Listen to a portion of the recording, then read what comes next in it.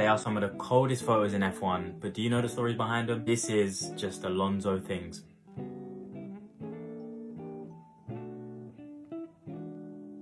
The 2006 Bahrain Grand Prix saw Alonso come out on top, followed by Schumacher in P2 and Kimi Raikkonen in P3.